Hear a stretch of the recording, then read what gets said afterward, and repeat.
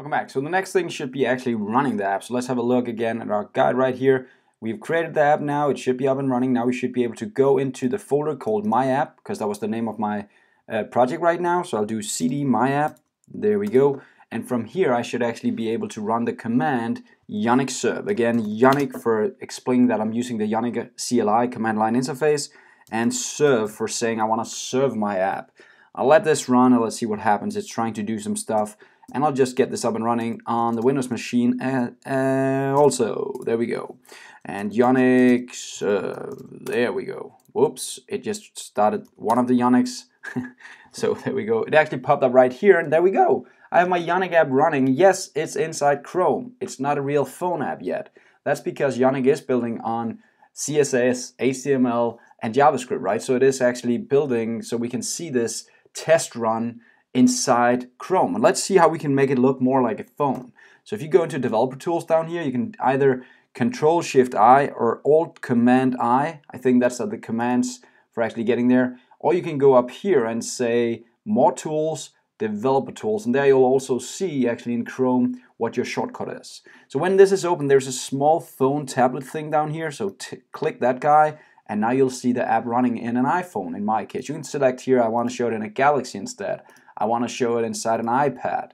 So you can start seeing how it actually looks. Now this is freaking awesome. So now I have the iPhone right here. Uh, let me just refresh this to make sure this is how it looks. This is the start app we just built. And there we go. Here we have the different menu items we could click. List item here. We have some list items we could click. They have more. They have more. Pretty good tutorial, uh, pretty good startup app, right? There's so much of this I normally use inside a basic um, application, right? So it seems to be running and we just tested it running inside a browser, inside a real, a real device, at least in the size of a real device.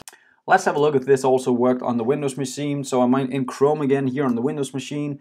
Let me just Control Shift I, get uh, the menu up here, press the button down here again, and there we go. Now this looks wrong somehow. Let's just try and select the iPhone again, and there we go. Now it looks better. Let's just do a refresh of the page. I always do refresh because sometimes it needs a refresh to kind of clear any any things that shouldn't be there. So there we go. We have the menu right here. We have a list right here. We can clickety click stuff around. Let's try and do an iPhone 5. Clickety click. There's something here that kind of annoys me, but I think that's because of my browser right here.